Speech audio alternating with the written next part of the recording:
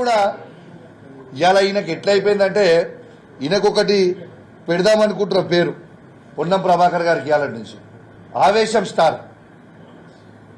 ఈ ఆవేశం స్టార్కి నిన్న కూడా మీకు ఒక ఆడియో వినిపిస్తా ఇప్పుడు యావత్ తెలంగాణ ప్రజలు వినాలే. ఇలా వినిపిస్తా. నిన్న ఒక తిరుపతి గౌడని హుస్నాబాద్లో అమనగుర్తి నుంచి ప్రజలు ఫోన్ చేస్తే ఒక్కసారి ఒక్కసారి ఇది మీరు వినాలి ఆడియో. ఆయన మాట్లాడే మాటలు ఆయన బూత్ పురాణాలు ఒక్కసారి మీరు వినాలని మీ ద్వారా యావత్ తెలంగాణ ప్రజలందరూ కూడా వినాలని కోరుతా ఉన్నాను. చూడండి ఒకసారి. ఒకసారి వింటూ.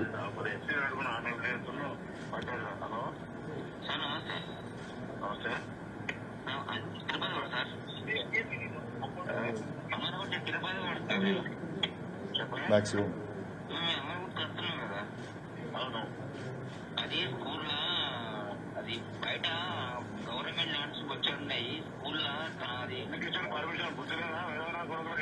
కొడుకులకు ఎంత ముందు ఇచ్చినప్పుడు ఎందుకు ఇచ్చి నేను తీసుకున్నా పర్మిషన్ అది మరొకటి నా లాస్ట్ హండ్రెడ్ రూపీస్ రిక్వెస్ట్ చేస్తే అవుతా అడ్డుకుంటా అంటే ముట్టి ముట్టి వాళ్ళు కూడా నా కొడుకుల మీద నేను తమాషా చెబుతున్నా వచ్చిన నా కొడుకులు.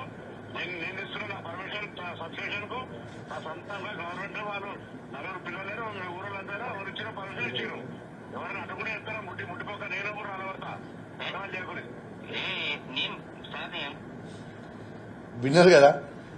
ఇవాళ అవి ఏం మాటలండి? నాకు అర్థం కాదు. ప్రజలు ఫోన్ చేస్తే కూడా అవి ఏం మాటలు? ఆ మాటలు చెప్పనికే కూడా నాకు సిగ్గు అనిపిస్తూ ఉంది. ఇవాళ మంత్రిగా ఎదిగినావు.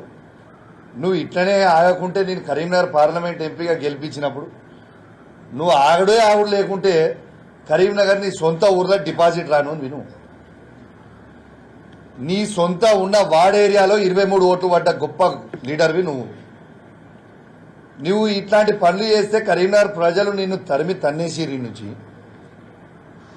ఏడుగా పోయి పాపం హుస్నాబాద్ తెలియకుండా ప్రజలు నీకు ఓటేసి గెలిపిస్తే గిదా నువ్వు చేసే పని? ఇంత ఆసానం ఎందుకు నీకు? ఇవాళ ఆవేశం స్టార్ అయిన మంత్రి గారు కుక్కకు ఒక బొక్క దొరికినట్టున్నది నా కథ.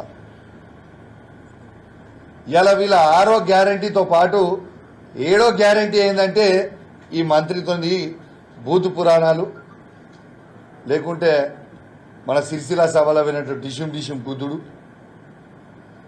అసలు ఈయన ఏం మంత్రి అసలు ఈయన ఏం కథ?